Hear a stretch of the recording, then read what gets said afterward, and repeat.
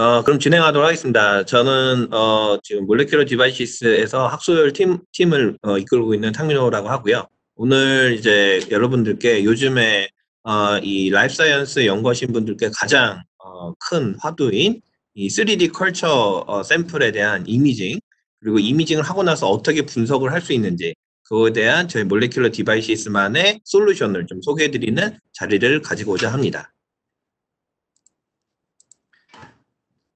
자, 그래서 오늘 일단은 이 주제가 3D 올가노이드 및 spheroid 시료의 간편하고 빠른 imaging 분석 및 아, 분석 방법 제시입니다. 그래서 많은 분들께서 이제 confocal 장비나 뭐 형광현미경, 뭐 two-photon 시스템, 뭐 light sheet 이런 장비를 이용해서 imaging을 많이들 해보셨을 거예요. 그런데 이 organoid나 spheroid는 3차 구조를 갖고 있는 조금 어, 사이즈가 있는 시료다 보니까 imaging을 하는데 그리고 또 분석을 하는데 매우 어려운 점이 있습니다. 그런 부분에서 저희가 어떤 어, solution이 있는지 소개드리기 앞서 오늘 아젠다는 어, 왜 저희 모든 연구자분들이 이제 2D 컬처보단 이 3D 컬처를 더 지향하는지 더 왜 더 이 organoid spheroid에 열광을 하고 그쪽을 가지고 왜 연구를 해야 되는지 간단히 짚어보고요. 그리고 organoid와 spheroid의 차이점을 간단히 설명을 드리고 나서 traditional한 어, 기존의 방법, 좀 전에 말씀드렸던 어, 여러분들께서 사용하셨던 일반적인 어, traditional imaging method와 어, 저희 Molecular Devices사가 제공드리는 imaging method 어떤 차이점이 있는지 설명을 드리는 어, 그런 이 아젠다 순서로 좀 진행을 하고요. 맨 마지막에 Q&A 세션을 갖도록 해보겠습니다. 자, 일단은 요즘 대부분 선생님들께서는 이제 2D 컬처보다는 3D 컬처를 지향하고 계십니다. 그 이유가 뭐냐? 많은 분들께서 알고 계시죠. 저희 사람의 몸은 결국엔 조직, 조직은 결국엔 세포. 어, 잠시만요. 어, 사람의 몸은 이제 그 조직, 그리고 조직은 이제 결국 세포의 집합으로 돼 있죠. 어, 그래서 이 세포의 집합으로 돼 있는데 이 세포들이 사실 이 우리 2D 컬처하게 뭐 티플라스크나 페티디시 세포를 컬처할 때 이렇게 아, 한마디로 이렇게 눌려서 자라죠. 그래서 한쪽은 눌리고 한쪽 면만 약간의 3D에 가깝지 어, 전체가 3D인 상태에서 floating한 상태에서 자라지 않기 때문에 진짜 어, 생리학적인 physiological한 상태에서의 어, culture 시스템이 아니었죠. 그렇기 때문에 여기 이런 인비트로 상태, 2D 컬처된 상태의 인비트로 어, 상태의 데이터는 사실 실제로 in vivo 상태의 어, 그 데이터와 correlation이 좀 떨어지는 그런 문제점들이 상당히 많았습니다. 다른 말로는 제약을 할 때, 신약을 개발할 때 약을 갖다가 개발하는 과정에서 2D 컬처된 세포에 어, 신약을 갖다 처리했을 때 나오는 효과와 인비보 상태에 어, 처리된 효과가 완전히 다르게 나온 이유는 시작점이 2D였기 때문이죠. 그래서 시작점을 2D가 아닌 3D 상태에서 구현을 하게 되면은 보다 더 인비트로긴 하지만 보다 더 인체와 비슷한 상태에서 실험을 진행을 할 수 있기 때문에 많은 분들께서 2D보다는 3D 컬처 상태에서 많은 실험을 진행하고 계신 게 요즘 추세입니다. 자, 그러면 이 2D가 아닌 3D culture 하는데 많은 분들께 잘 알고 계시겠지만 조금 정립을 해드리면은 3D culture 하는데 크게 두 가지 타입이 있습니다. scaffold free, scaffold를 이용한 방식. 이게 scaffold free라는 건 뭐냐? 말 그대로 세포 자체가 aggregation이 일어나서 어, 세포 자체 aggregation 되면 그 자체가 3차 구조가 되니까 그 상태로 imaging을 하는 건데 이러기 위해서는 plate와 같은 어떤 레버너 칩이나 또는 이렇게 그 특정 그, 그, 이 코팅 이 돼 있는 ultra low attachment 아, 바튼 플레이트와 같은 ULA 아, 바튼 플레이트와 같은 U 바튼 플레이트 같은 게 필요하죠. 그런 것들을 보통 scaffold free라고 하고 scaffold 방식은 많은 분들께 쓰고 계신 Matrigel과 같은 아, extra, extracellular matrix를 이용한 아, 이런 scaffold 방식의 세포 culture, 세포를 약간 floating해서 진짜 3차 구조를 유도하는 그러니까 미디어와 그다음에 이런 아, extracellular matrix를 이용한 어, culture 시스템 이용했죠.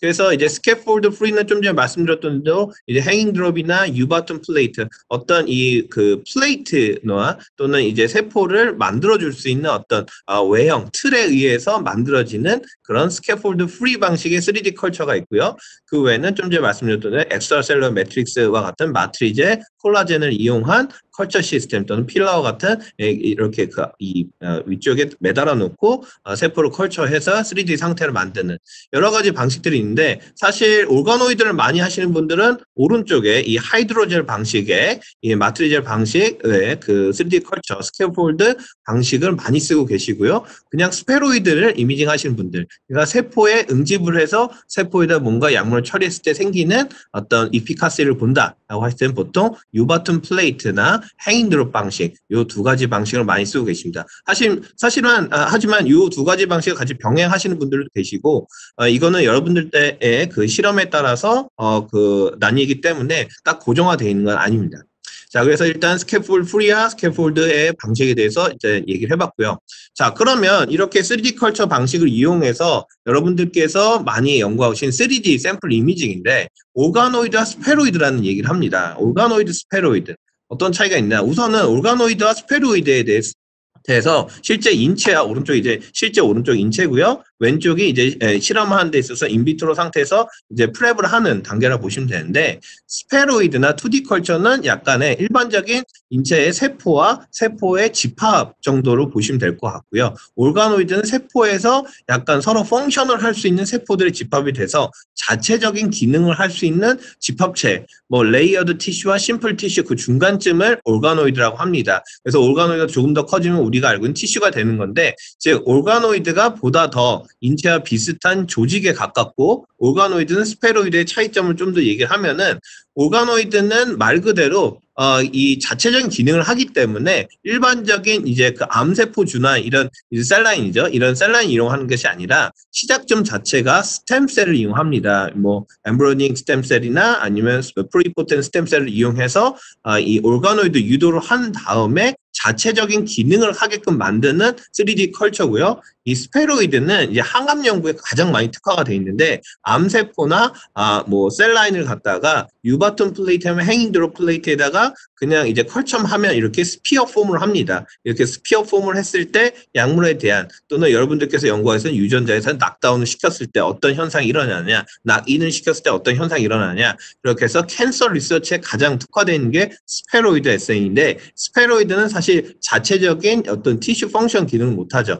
그래서 organoid와 spheroid의 차이점은 어, 자체적인 기능을 하면서 어떤 고유의 기능, 뭐 어, 브레인 올가노이드다, 리버 올가노이드다, 뭐렁 올가노이드다 또는 아, 그, 뭐, 아, gut organoid다. 이렇게 있던 조직에 특화돼서 자체 기능을 하는 것을 organoid라고 하고, 좀 전에 말씀드렸던 cancer의 집합, cancer cell에 대한 집합을 보통 spheroid라고 어, 보시라면 되, 겠습니다 그래서 실질적인 이미지를 보게 되면은 오가노이드 같은 경우는 사실 어, 이 어떤 패턴이 조금은 있긴 한데 사실 되게 어, 좀, 어, 좀 어떻게 음, aggregation이 돼서 자라게 되고요. 어, 사실 imaging을 한다는 게 organoid imaging이 상당히 쉽지는 않습니다. 그 다음에 이 spheroid 같은 경우는 사실 패턴을 가지고 많이 자랍니다. 그래서 이 imaging 하는 사람들 입장에서는 spheroid imaging이 상대적으로 쉽고요. 그 spheroid 같은 경우는 extracellular matrix와 같은 scaffold가 없더라도 어, spheroid culture를 할 수가 있어서 어, imaging 하는데 보다 더 barrier가 없습니다.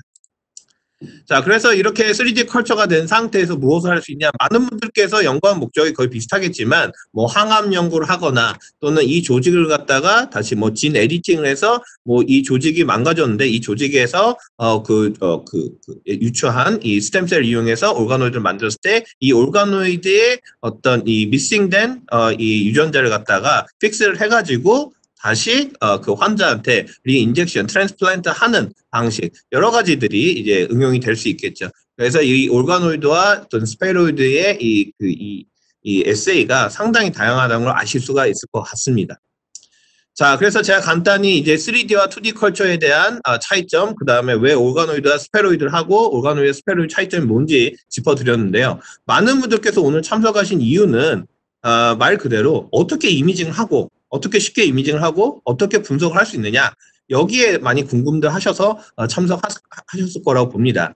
그래서 일반적으로 이 spheroid culture 말고 이제 organoid culture에 대해서 문제점을 좀 보여드리면 organoid culture를 일반적으로 이제 할때 어, 많은 방식이 있죠. 지금 보신 것 같이 이제 immuno labeling 하기 직전에 라이브 상태의 organoid에서 imaging을 하고 싶다. 사실 지금 보시는 어, 24 well 24 well을 가지고 이제 컴포칼이나 어떤 traditional method로 이 organoid imaging 한다는 거 거의 불가능합니다. 왜 그럴까요? 이 plate bottom이 워낙 두껍기 때문이죠. 그래서 많은 분들이 이 organoid를 culture하고 나서 어, 투명화 작업을 하거나 아니면 light sheet로 바로 가거나 투명화 작업을 했다라고 하면 그냥 하는 게 아니라 이렇게 lipid를 다 제거하고 슬라이드 위에 슬라이드 바닥이 200 마이크론 이하가 되는 아주 얇은 슬라이드 위에 올려서 cover slip이죠. 그 다음에 imaging을 하는 아주 불편한 과정을 거쳐야지만 organoid imaging 가능합니다.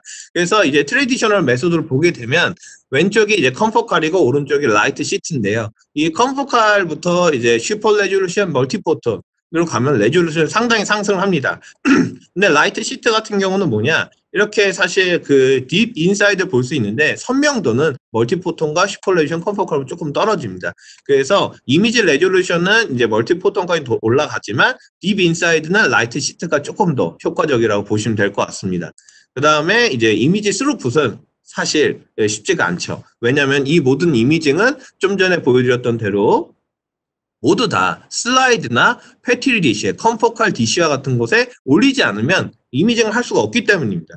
그래서 이렇게 그 imaging 하는데 많은 분들이 올가노이드 하나만 겨우겨우 culture를 해서 imaging을 하고 계신 이, 이 형국에 어떻게 저희 Molecular Devices는 쉽게 imaging을 하고 분석을 할 수 있는지 그런 법을 좀 설명을 드리려고 합니다. 일단은 저희 Molecular Devices 홈페이지 가보시면 간단히 spheroid culture를 어떻게 할 수 있고 어떻게 imaging할 수 있고 분석을 할 수 있는지 이런 어, 다이어그램이 있습니다. 처음에 U-bottom plate나 또는 3D 컬처 플레이트의 어, 암세포나 이런 뭐 이세 아, 그 아, stem cell에서 유래한 아, 이 그 organoid를 culture하고 아, 그 다음에 compound. compound라는 건 마도의 신약이겠죠. 또는 여러분들께서 연구하신 어떤 약물, 어떤 프로테인 처리했을 때, 어, 그 처리를 뭐 2, 3일 정도 합니다. 그러고 나서 imaging하기 직전에 뭐 live cell dye나 뭐 fixation을 통해서 imaging을 하고 나서 자동 imaging을 하고 나면은 바로 분석을 자동으로 완료하는 게 저희 Molecular Devices의 솔루션입니다. 자, 그래서 저희 회사 장비로 찍었던 실제 이미지입니다. 지금 보시는 것 같이 뭐 neurite outgrowth나 zebrafish나 drosophila, 그다음에 올가노이드, 어, 3D 홀 슬라이드 이미징이나 C 엘레강스 이미징. 그러니까 여러분들께서 어, 어, 컴포칼, 트레디셔널 컴포칼, 컨벤셔널 컴포칼로 찍었던 이미지는 저희 Molecular Devices 장비 가지고 다 됩니다. 근데 그 위에 super resolution, two-photon, light sheet까지는 저희가 아직 제공을 하지 못합니다. 그 이유에 대해서 조금 설명을 드리겠습니다. 장단점이 있겠죠. 자, 그래서 어, 그럼 어떤 차이점이 있냐? 자, 위에 어, 보시면은 conventional confocal super resolution two-photon light sheet 방식이 있고 밑에는 저희 Molecular Devices의 imaging 솔루션이 있습니다.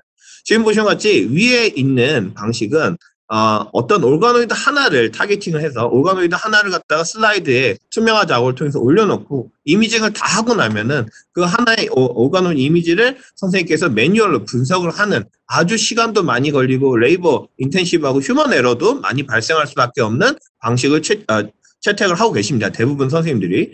근데 저희 Molecular Devices 장비를 이용하시면 당연히 슬라이드에 올려놓은 샘플뿐만 아니라 어, 플레이트는 6 well부터 12, 24, 48, 어, 96, 어, 그 다음에 1536, 384, 1536 well까지 모두 다 어, 커버를 할 수 있습니다. 그래서 선생님께서 라이브 상태의 organoid건, 어, 뭐, fixation 상태, fixation 상태 슬라이드건 모든 이미지가 다 자동을 하고 자동 분석까지 완료를 해드립니다. 이게 그래서 어떤 결과를 어, 도출해드리냐, 여러분들께 항상 homogeneous한 데이터 값을 어, 제공드리기 때문에 여러분들의 데이터도 여러분들의 실험 결과고 흔들릴 일이 더더욱 없습니다.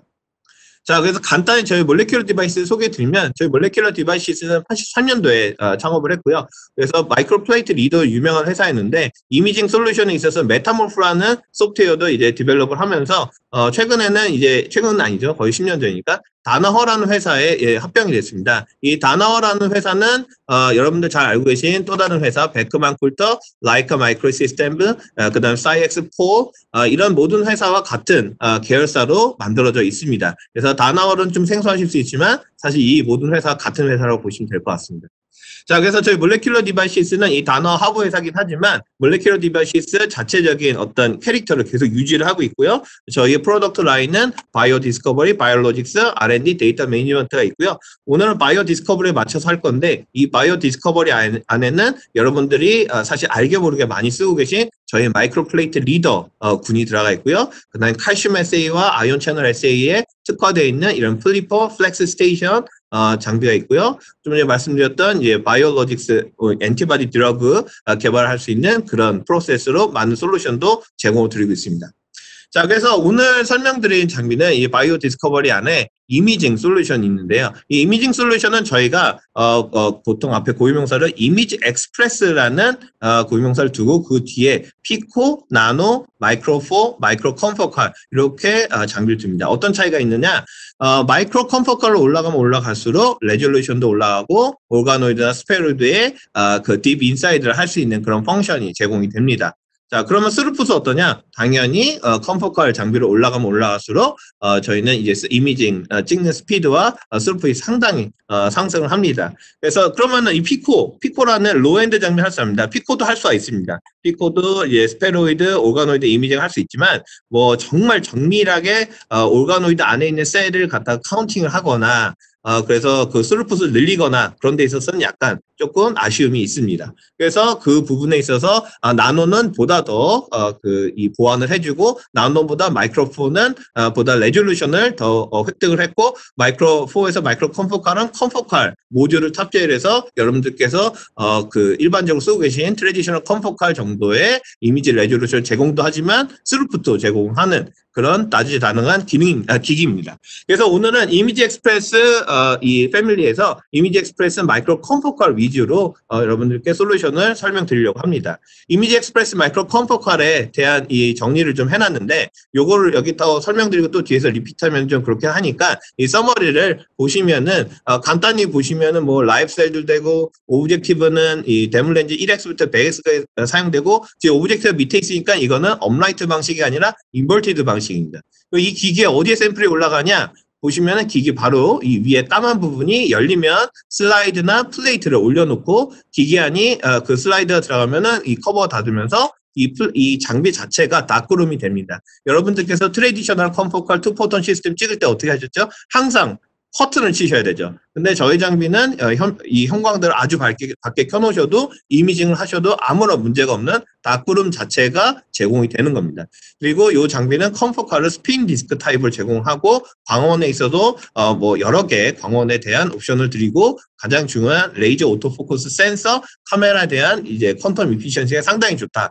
간단히 이렇게 설명드리고요. 어, 저희 이 ImageXpress에 대한 역사를 좀 보여드리면 이런 장비가 저희 한국에 소개된 지는 상당히 좀 늦어, 늦었어요. 저희 Molecular Devices가 전 세계적으로 이 high content screen 장비에 있어서 ImageXpress 군을 어, 개발한 지는 거의 20년이 넘었습니다. 22년 정도 됐죠. 그래서 이렇게 오랜 개발 어, 끝에 이 개발을 멈추지 않고 아까 보여드렸던 low-end Pico 그 다음 그 위 Nano Micro 포 Micro Confocal을 지속적으로 개발을 하고 소프트웨어도 계속해서 개발을 하고 있습니다. 여러분들 이 창에서 보시면 조금 익숙하신 분들도 있을 수 있는데 이미지 분석을 하시는 분들이 MetaMorph라는 걸 아실 수 있을 거예요. 아시는 분도 있고 안 계신 분도 있는데 MetaMorph라는 저희 회사에서 만든 소프트웨어입니다.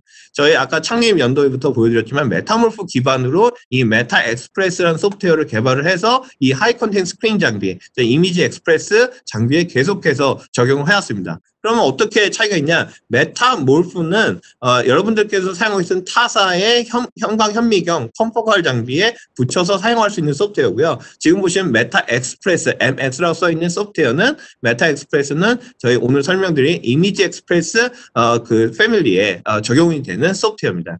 그래서 저희는 이 소프트웨어도 이미지 분석 소프트웨어, image acquisition 소프트웨어도 아주 오랫동안 사실 거의 40년 정도 됐어요. 이거보다 보다 더 어, 어, 보다 더 과거로 갈 수가 있는데 이미지 분석 소프트웨어도 아주 오랫동안 develop을 해 왔었습니다. 자, 그래서 저희 오늘 설명드릴 이 organoid spheroid imaging에 있어서 ImageXpress Micro Confocal이 어떤 기능을 할 수 있냐.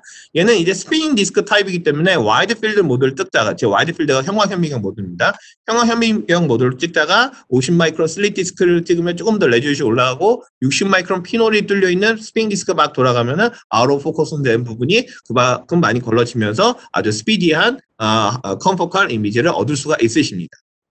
자, 그래서 저희 장비는 아까 보여드렸던 장비 안쪽을 보시는 건데요. 슬라이드나 플레이트가 요 위에 올라가는 거예요. 지금 보시는 건 플레이트 모양이고, 그 바로 밑에 objective, 대물 렌즈가 총 4개가 들어가는데, 4개를 여러분들께서 아주 쉽게 어, 교체를 하실 수가 있고요. 그 바로 밑에 spinning disk가 최대 2개까지 들어갑니다. 50 마이크론, 60 마이크론, 60 마이크론, 42 마이크론. 원하시는 spinning disk를 한 번에 2개까지 어, 탑재를 할 수 있고, 만약에 오늘 샘플의 intensity, 형광의 intensity 별로 안 좋다. 그럼 컴포칼이 바로 옆으로 빠져요. 그럼 뭐가 되느냐? 바로 형광 현미경 장비가 됩니다. 자동으로 빠지면서 형광 현미경도 찍을 수 있고 어, 요, 이 confocal, 이 spinning disk가 바로 소프트웨어에서 선택만 하면 탑재가 되면서 confocal 이미지를 찍을 수 있고, 그 다음에 emission 같은 경우 8개까지 제공이 되면서 8개 칼라까지 보실 수가 있고, CMOS 카메라를 사용하고 있는데, 이 scientific CMOS 카메라 중에는 가장 high-end인 80% 이상의 quantum efficiency를 제공하고 있는 카메라를 탑재를 하고 있습니다. 자, 그래서 어, 지금 ImageXpress Micro Confocal로 찍었을 때 이 wide field의 이미지를 보시게 되면 spheroid나 그다음 펑타이세이, zebrafish, 그다음에 micro fiber, micro spindle 같은 걸 보신다고 하면은 어, wide field는 조금 어, 조금 부드럽습니다, 이미지가. 그런데 바로 모드를 갖다가 뭐 50 micron이나 60 마이크론, 42 micron spinning disk로 어, 바로 모드를 바꿔서 confocal 이미지를 이렇게 확인할 수 있으십니다. 그래서 이 정도 이미지가 나오기 때문에 많은 분들께서 어, 많이 만족을 하시고요. 어, 분석을 하는데도 어려움이 없습니다. 자, 그러면 저희 ImageXpress Micro Confocal은 이렇게 wide field confocal만 제공하냐? 그렇지 않습니다. 지금 보시는 위에 이 타워가 있는데 이 타워 같은 것을 이용을 해서 bright field와 phase contrast를 찍을 수가 있습니다. 이걸 이용하게 되면은 이제 그 이 cardiomyocyte 지금 beating하고 있는 심장 cardiomyocyte, wound healing, spheroid formation, spheroid 어, 그 cytotoxicity effect를 갖다가 같이 보실 수가 있는 bright field 이미지 또는 형광 이미지를 볼수 있는데 중요한 건 phase contrast까지 볼 수가 있는데 이렇게 live imaging을 하는 데 있어서 phase contrast bright field도 제공하는데 live cell imaging condition도 완벽하게 제공합니다. 이 장비 안에 아, 이 CO2 O2 컨트롤도 할 수가 있고요. humidity, 그러니까 이제 그 media가 증발할 수가 있죠. 그런 미디어 증발도 방지를 할 수가 있고, 그 다음에 temperature 컨트롤도 할 수가 있어서 선생님께서 플레이트나 이런 곳에 어, 이 media를 제, 어, 넣으시고 imaging을 하는데, 어, 그럼 imaging을 며칠 동안 연속적으로 할 수 있느냐? 어, 뭐, 최소, 어, 7일에서 제가 최장 2주까지 연속적으로 imaging을 해도 문제 없는 것을 확인을 했었습니다. 그래서 이렇게 오랫동안 live cell imaging을 하셔도 media가 마르지 않고 포커스도 나가지 않는 그런 다재다능한 기기라고 보시면 될 것 같습니다. 자, 그래서 이렇게 live cell condition, 그 다음에 bright field, phase contrast, confocal 이미지 다 제공하는데, 그럼 objective range는 어떻게 되냐? 아까 소개 때 잠깐 말씀드렸는데, 저희는 기본적으로는 air objective를 씁니다. 즉, 여러분들 confocal, traditional confocal 쓸때뭘 하시죠? 항상 스트레스가 항상 오일을 올려놔야 돼요. 어, immersion 오일을 올리지 않으면 numerical 그이 high NA 값, numerical aperture라는 NA 값이 제공이 되지 않기 때문에 resolution이 떨어집니다.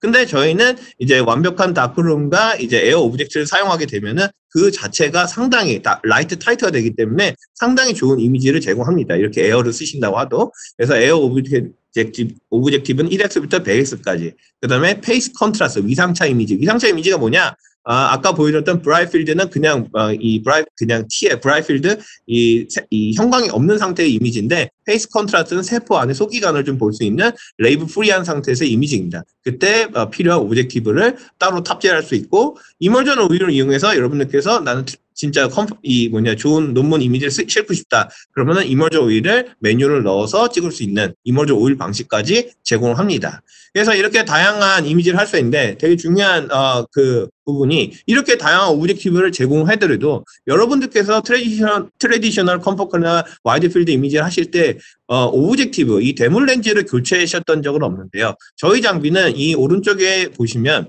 예, 양 사이드가 열립니다. 양 사이드 도어가 열려서 4개 objective objective에 원하시는 포지션의 objective를 직접 가실 수가 있습니다. 그래서 만약에 air objective긴 하지만 high NA 값을 제공하는 이런 어, short working distance objective를 이용해서 슬라이드 imaging을 하거나 bottom이 얇은 플레이트 imaging을 하거나 또는 어, 여러분들이 어, organoid imaging을 하실 때는 organoid는 항상 scaffold이기 때문에 scaffold의 그 이 Matrigel과 같은 또는 이 컬처 데스트 라이브 상태를 보시려면 플레이트 자체가 24, 48 well을 많이 쓰시기 때문에 이런 플레이트는 대부분 bottom이 두껍거든요. 그런 경우는 이렇게 초점의 거리를 길게 해도 어, 배율을 놓치지 않는 long working distance. 그럼 얘가 그럼 가장 좋은 거 아니냐? 근데 NA 값이 조금 상대적으로 떨어집니다. short working distance에서.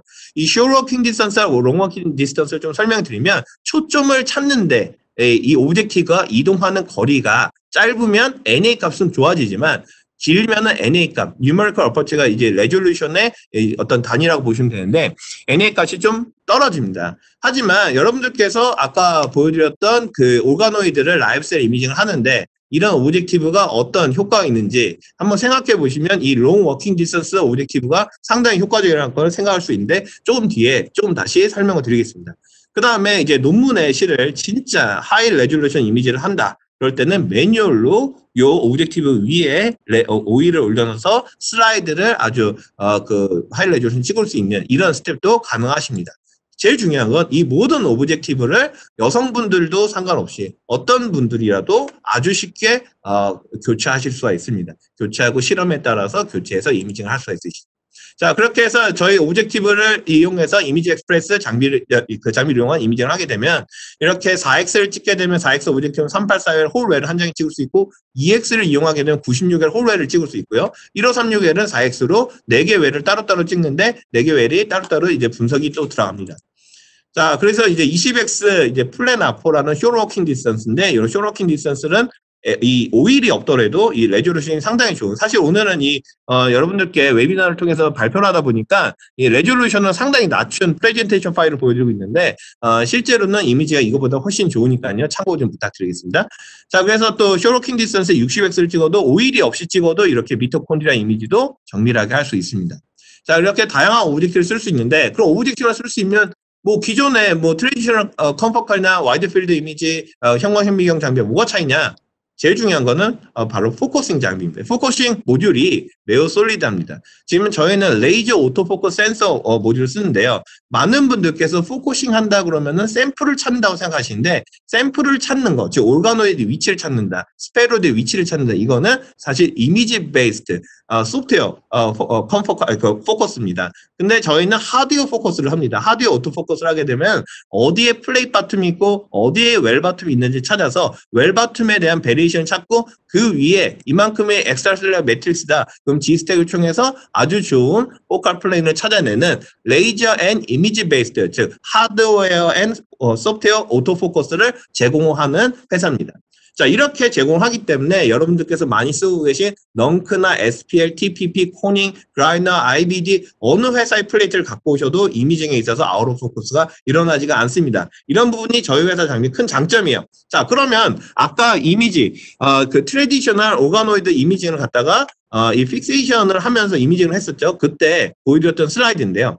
이때 이 laser autofocus, hardware autofocus를 제공한 저희 장비를 이용하면 뭘 할 수가 있느냐? 아까 어떻게 하셨죠? traditional, traditional 방식의 imaging을 하시려면 이렇게 24, 48 well에서는 imaging을 할 수 없었죠. 왜냐? 바닥이 두꺼우니까요. 그런데 어, 여기서 이 항상 이 organoid를 옮겨가서 투명화 작업을 하거나 light sheet를 가거나 슬라이드에 올려서 fixation을 하거나 해야지 organoid imaging을 할수 있는데 저희 laser autofocus를 제공하는 저희 장비 이용하시면은 지금 보신 것 같이 어, 6웰, 12L, 24, 48, 96L 어떤 웰을 쓰시더라도 bottom이 두껍더라도 얇더라도 그 위에 Matrigel이 있더라도 콜라겐이 있더라도 아무 문제 없이 imaging을 할 수가 있으십니다. 그렇기 때문에 여러분들끼리 어, 여러분들께서 굳이 fixation을 하지 않더라도 라이브 상태에서의 organoid imaging을 할 수 있는 그런 장비라고 보시면 될 것 같습니다. 자 이렇게 해서 어, 저희 그 장비의 그 특징을 좀 보여드렸는데 또 다른 좀 세부적인 특징은 저희 장비가 이제 형광 imaging 어, 그리고 confocal imaging을 주로 하는 장비인데도 불구하고 이렇게 히스토로지컬 샘플 H&E 트라이크론과 같은 이런 histological sample도 imaging 할 수가 있고요. 어, 그 이유는 RGB 필터가 있어서 레드, 그린, 블루를 따로 찍어서 overlay를 하게 되면은 다음과 같이 아주 좋은 어, 컬러 슬라이드 이미지도 보일 수가 있습니다. 그래서 이 하드웨어 설명을 먼저 드리고 있는데 하드웨어 설명이 있어서 이제 마지막 피처는 어, 저희 custom solution 팀입니다. 저희는 이제 AWES 팀이라고 하는데 이 AWES 팀은 어, 저희가 기성품을 판매하는 데 있어서 어, 고객께서 나는 광원을 바꾸고 싶다. 난 광원에 무슨 레이저를 추가하고 싶다. 나는 어떤 live cell 모듈을 하는 데 있어서 live cell 모듈을 cooling을 모듈을 cooling 모듈을 탑재하거나 뭐 heating 모듈을 탑재하거나 뭐 hypoxia condition을 완전히 만들고 싶다. 뭐 컴프레, 컴퓨터를 업그레이드 여러 가지 custom 어, request가 있습니다. 저희 이 AWES 팀은 공식화된 팀이고요. 고객들이 요구를 하면은 기성 장, 어, 제품을 갖다가 어, modify를 해서 그 modify된 대부, 어, 어, 부분에 있어서 아, 이그 저희가 개런티를 해드리고 서비스도 해드리는 그런 어, 팀이라고 보시면 될 것 같습니다. 자, 그래서 이 팀이 어, 요즘에 화두화되고 있는 오늘 또 주제인 organoid spheroid imaging, 특히 organoid imaging에 있어서 보다 deep insight를 하기 위한 세 가지 옵션을 갖다가 업그레이드를 하는 파트를 어, 출시를 했는데요. 첫 번째가 water immersion입니다. 아, water immersion. 두 번째가 어, 그 다음에 라이소스에 대한 업그레이드고요. 맨 마지막이 spinning disk를 갖다가 어, 보다 더 이 high resolution image를 볼 수 있어 deep insight를 볼 수 있는 spinning disk 업그레이드를 했습니다. 자, 그 지금 보시는 spheroid인데 organoid에 있어서 이 그 water immersion이 어떤 장점을 줄 수 있느냐 좀 설명을 좀 보여드리고 있는데요. 뭐 보다 더 샘플의 안쪽을 penetration 할 수 있고 어, Z 레졸루션, Z 스택 레졸루션이 더 좋아지고 어, 보다 더 sharp하고 crispy image를 볼 수 있다. crisper image를 볼 수 있다. 자 어떻게 되냐? 어, 많은 분들께서 어, 그 이유를 좀 생각을 해보시면 여러분들 이 그 이 슬라이드를 가지고 organoid나 또는 슬라이드 이미지 찍으실 때 confocal 찍으실 때 이 immersion를 올리 오히려 이, 이, 올리는 이유를 혹시 알고 계신가요? 그 올리는 이유는 이 numerical aperture value를 1 이상으로 만들기 위함입니다. 즉 resolution을 높이기 위함이죠. 자, 그런데 저희 water immersion objective는 뭐냐면 여러분들께서 manual로 올렸던 이 오일 대신 물이 objective 위로 자동으로 계속 올라갑니다. 자동으로 계속 올라가기 때문에 슬라이드뿐만 아니라 플레이트에 있는 모든 샘플을 찍는 데 있어서 어, 이 워, 물이 마르지가 않습니다. 계속 공급되고 공급된 만큼 빠져나옵니다. 그래서 이 water를 쓰는데 어 그러면 오일 쓰는 거 water의 차이는 뭐냐? water는 사실 이 쓰는 이유가 뭐냐면 water를 쓰게 되면 이 그이 refractive index라는 value가 water일 때 1.2 정도 되는데 이 반대 있는 이 organoid나 spheroid 또는 선생의 샘플들이 만약에 플레이트에 있다. 그럼 플레이트에 있게 되면 플레이트에 있는 미디어를 물로 어, 생각을 한다 그러면 물에 생기는 refractive index와 이 밖에 있는 air의 refractive index가 아니라 water에 의한 refractive index를 이용해서 보상을 하게 됩니다. 그렇게 되면 excitation은 air를 이용했을 때 excitation이 들어갔던 게 emission이 이렇게 나오는 이 어떤 산란된 scatter된 상태에서 좀 low intensity emission이 들어오게 되는데 지금 water를 이용하게 되면은 이제 이 refractive index를 보상하기 때문에 excitation 들어갔을 때 100이 excitation 들어가면 100의 emission이 나오게끔 아주 좋은 emission이 나오게끔 아, 하는 value입니다. 그 오일은 뭐냐? 오일은 이, 이, 이 refractive index 1.4까지 올라가기 때문에 조금 더 왜곡이 됩니다. 그래서 사실 가장 좋은 것은 오일은 fixation 어, imaging에 좀 맞다고 보시면 될 것 같고 water는 live cell imaging에 맞다고 보시면 될 것 같습니다. 즉 여러분들께서 organoid live cell imaging 한 데 있어서 water immersion objective 자동으로 공급되고 자동으로 빠지는 이 objective 이용하게 되면 이게 펌프거든요. 이제 object 물이 올, 들어가고 빠져나오는 어, 그런 어, 펌프인데 이렇게 사용하게 되면 20x, 40x, 60x 어, water immersion object 이용해서 NA 값을 0.95까지 어, 20x 올릴 수 있고 어, 60x 1.2까지 올릴 수가 있어서 어, 어, 굳이 이 픽세이션 이미지가 아닌 live cell imaging에서는 아주 좋은 가장 high resolution의 imaging 상태에서 organoid imaging 할 수 있는 condition을 제공하고요. 지금 비교를 해드렸는데 같은 20배 렌즈에서 어, long working distance를 이용하게 되면 NA 값이 0.45로 떠있기 때문에 같은 excitation, 같은 imaging 하는 condition에서 아주 어둡게 어, spheroid는 이미지 나오는데 어, 거기에 이제 air objective긴 하지만 NA 값이 0.75까지 올라가면 조금 더 bright하죠. 거기다가 water immersion 20X를 쓰기 때문에 0.95까지 올라가면서 같은 imaging condition인데도 intensity가 상당히 올라가면서 어, 시그널 대 background noise에 대해서 어, 상당히 좋은 어, 값을 얻어서 분석도 정밀하게 할 수가 있겠죠.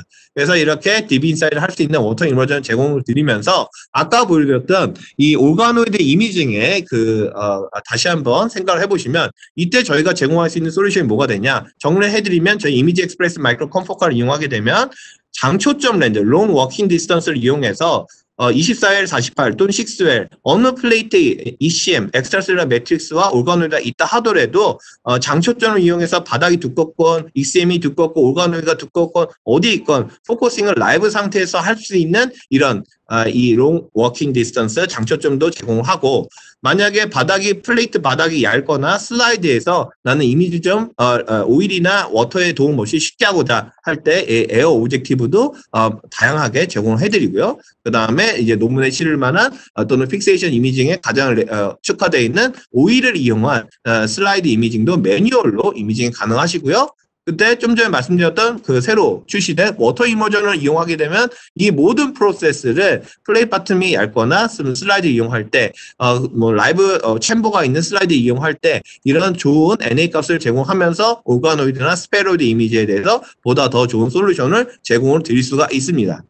자, 그럼 또 다른 이 저희 custom 솔루션 팀인 AWS 어, 출시한 또 다른 옵션은 뭐냐? 바로 high intensity 레이저 광원입니다. 레이저 광원을 이용하게 되면은 저희 기본적인 광원이 솔리스텔 light engine이라는 광원을 쓰고 있는데 솔리스텔 light engine을 쓰게 되면은 이제 솔리스텔 light engine은 뭐냐면 LED에다가 특정 모드를 어, 탑재를 해서 보다 high power LED 어, 장비가 되는 겁니다. 그래서 기본 광원은 DAPI, FITC, Cy3, Texas Red, Cy5 이 다섯 개 광원에 어, 솔리스텔 light engine을 사용하는데 만약에 고객이 나는 거기에 far red를 좀 사용하고 싶다. far red 뭐 Cy7 또는 거기다가 난 CFP, YFP까지 같이 보고자 그런 경우는 거기에만 far red에 특화되어 있는 3 레이저, 그 다음에 비저블 레인지는 솔리스트 라이트 엔진을 퓨전한 퓨전 라이서스의 업그레이드 옵션도 있고요. 만약에 나는 그 뭐 어, live로 organoid 스페를 안 찍고 항상 fixation을 찍을 거다. 그래서 나는 항상 high 레이저를 찍을 건데 돈이 어, 조금 버젯이 많지 않다. 그럴 거는 5 레이저, 5 레이저, 풀 레이저, DAPI부터 어, Cy5까지 찍을 수 있는 5 레이저 어, 광원도 제공, 어, 4 레이저 5 컬러죠. 이렇게 제공드릴 수 있고요. 그 다음에 만약 난 full로 어, A 컬러를 보고 싶은 full 레이저 시스템 원한다. 그러면은 가장 high-end의 모든 full 레이저 시스템을 제공할 수 있는 옵션까지 어, 저희는 갖고 있습니다. 자, 그래서 이렇게 하게 되면 어떤 장점이 있냐? 이 솔리스텔 light engine의 LED 기반의 excitation을 쳤을 때 같은 excitation 어, 했을 땐 보이지 않던 게 같은 excitation의 어, 그 세기로 레이저로 하게 되면은 아, 이 그 시간으로 레이저를 쓰게 되면은 어, 보이지도 않던 이미지들이 intensity가 바로 보이는 어, 이런 어, 장점이 있으면서 어, 떤 게 있냐? 이미지 찍는 스피드도 빨라지고 보다 더 deep inside를 볼 수 있는 장점이 또 어, 여러분들께 제공이 되는 거죠. 자, 그 마지막 또 옵션은 뭐냐? 어, 저희가 spinning disk 타입을 쓰고 있는데요. 어, 정확히 설명을 안 드렸지만 저 ImageXpress Micro Confocal은 spinning disk를 50 마이크론 slit, 60 마이크론, 42 마이크론 사용할 수 있으십니다. 자, 그래서 한 번에 두 개까지 사용할 수 있고 고객이 직접 탈착을 할 수가 있으세요. 그런데 나는 보다 더 deep inside를 봐야 되겠다. 그러면은 이 AWS에서 새로 만든 spinning disk 하나 더가 나오는데 이건 dual spinning disk입니다. 이 spinning disk를 이용하게 되면 out of focus 되는 부분이 보다 더 사라져서 저희 기존에 60 아, 마이크론 spinning disk를 썼을 때 아, 센터의 spheroid나 organoid 아, spheroid죠. 센터의 부분이 약간 blur한 부분을 어, 보다 더 improve된 그 spinning disk를 이용하게 되면은 센터 부분도 정밀하게 나오면서 보다 더 deep inside를 볼 수 있다는 것을 제공을 드립니다.